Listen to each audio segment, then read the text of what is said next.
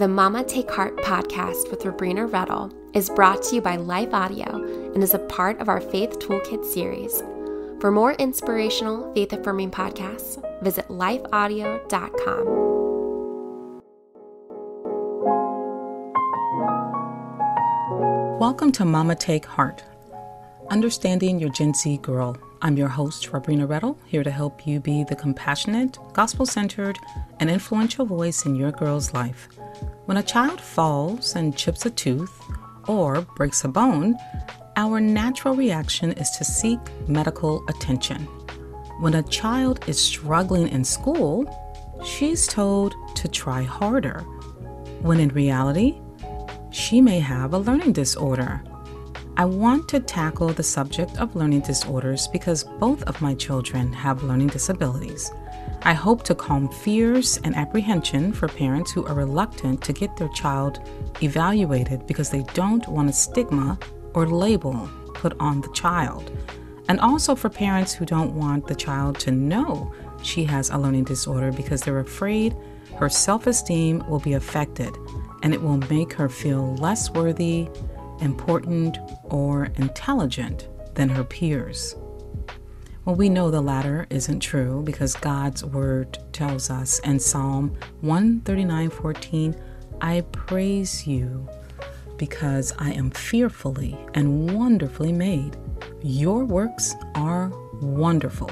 I know that full well. Well, we read, believe, and trust God's word and his ways. So I chose to ask God to show me what to do to help my kids navigate their personal difficulties in a way that they still knew their value. And I believe He gave me the desire to try to understand how their brains worked. So I began to research. So we're going to start by answering uh, some of the questions uh, like what is a learning disorder? What can cause learning disorders, what signs I should look for, and how can I advocate for my child to get her the help she needs.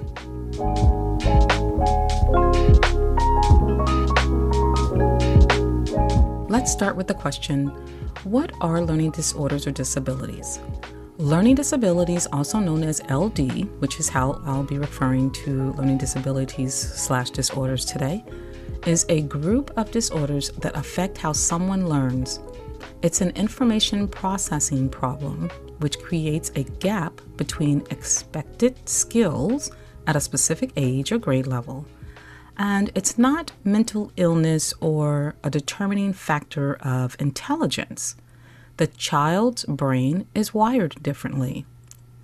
According to an article on the Mayo Clinic site, these disorders involve difficulty in one or more uh, neurological processes auditory and visual processing, which uh, processes information by visual and auditory in reading, spelling, writing, and understanding or using language.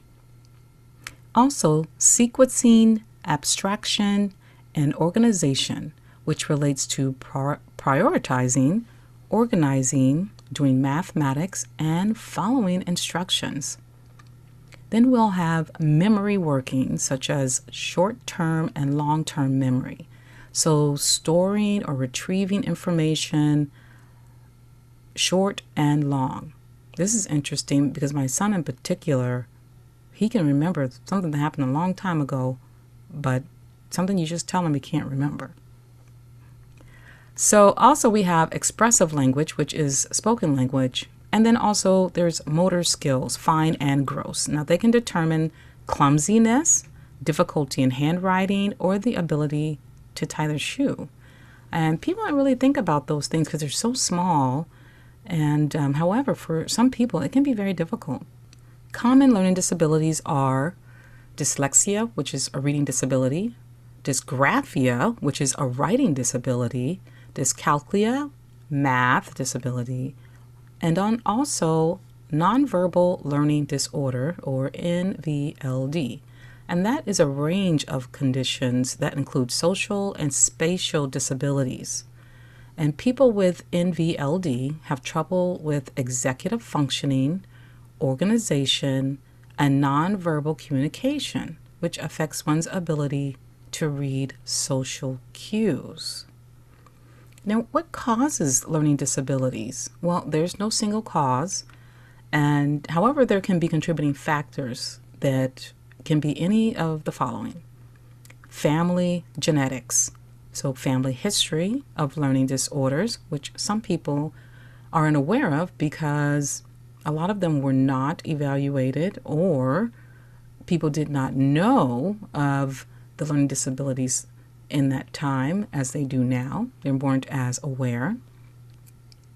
Okay, another um, contributing factor could be prenatal and neonatal risks.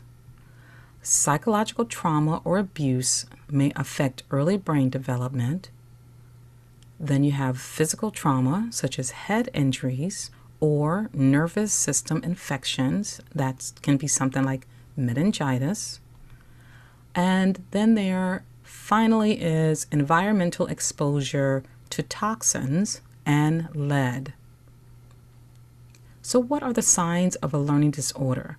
The signs can be any of the following a child who doesn't master skills in reading, spelling, writing, or math at a near or expected age and grade levels, has difficulty understanding and following instructions, has trouble remembering what someone just told her, that's like my son, lacks coordination in walking, sports, or skills such as holding a pencil, easily loses or misplaces homework, school books, or other items, which is why it's really important for us to help them with organization. Has difficulty understanding the concept of time, resist doing homework or activities that involve reading, writing, or math, or consistently can't complete homework assignments without significant help. Acts out or shows defiance, hostility, or excessive emotional reactions at school or while doing academic activities such as homework or reading. I remember there was a time where I literally had to sit at the table uh, with my kids. And so I would find things to do, whether it was writing things out, a list or whatever, while they were doing schoolwork so that I could be accessible uh, to help them. And sometimes we would be sitting at that table for two hours, just going in and out of assistance. And I remember that was uh, quite a few years that that was pretty much our routine. And then they kind of started getting the drift of things that were going on or or enhanced their learning skills in the disabled area and were able to do on their own and I could just check in with them. But you know, that's quite a list. Not all of the signs need to be present for you to want to seek help. For me, I noticed my son struggles very early, but I didn't notice signs in my daughter for quite some time, not until she was a teenager. Girls can mask these disorders and they can show up as being a perfectionist, as anxiety, or depression. I had no idea her brain was working overtime to keep up. Well, I started paying close attention and I observed and documented when they were doing homework. When I asked questions about school, I spoke to the teachers. Um, I've had good and not so good experiences with speaking to teachers, but most of the teachers want to see your child succeed. Uh, my son, in particular, his first grade teacher actually, she started seeing things, uh, Mrs. Danielson. Well, once she alerted me that she was some things going on with him, I started watching him closely.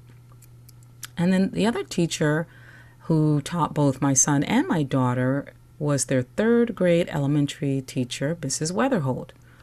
She was a student of her students. Mrs. Weatherholt worked diligently with both of my children, and she mentioned areas in which she saw them struggle. We talked about what they were learning in class and how I could help reinforce the learning at home. When Mrs. Weatherholt had time, she provided individual attention to my son in particular to ensure he stayed on track in class. That year, my son was diagnosed with attention deficit hyperactivity disorder and a learning disability. It would be six years before my girl was diagnosed, and that is something that you want to keep in mind.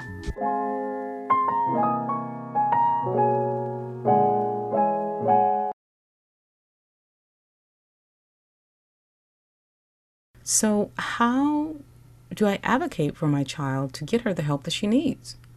Well, the earlier the diagnosis, of course, the better. Uh, so the LD can be addressed. It isn't something people grow out of, uh, so it's important to address it and to help your girl put strategies in place so that she can navigate life successfully. First, you want to get her evaluated. And there's a battery of tests that she can take. Uh, she can complete them either at school or with a psychologist, depending on what your school system uh, offers. And it will determine if a learning disability is present. Once the results are available, it's advised to schedule an appointment with a school counselor or a special education counselor to discuss the next steps. Based on the findings, you may be able to incorporate one or more of the following an Individualized Education Program, or IEP. Under the Individuals with Disabilities Education Act, public schools in the United States are mandated to provide an individualized education program for students who meet certain criteria for a learning disorder. The IEP is a way to set learning goals and determines strategies and services to support your girl and her learning in school. Two is accommodations. Classroom accommodations might include more time to complete assignments or tests, use of computer applications that support writing, or even provide audiobooks to supplement reading.